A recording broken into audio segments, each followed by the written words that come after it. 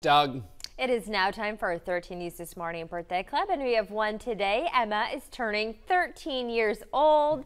Ooh, love the picture. She's rocking it out. Yeah, she is. Happy birthday, Emma. Turning into a teen and her final year on the Birthday Club. Happy birthday. If you have a child turning 13 or under with a birthday coming up, please upload their photo to our website, wibw.com slash this morning, and please try to get it in at least two weeks before their special day. A couple of athletes picked up their weekly honors, and we have some high school volleyball.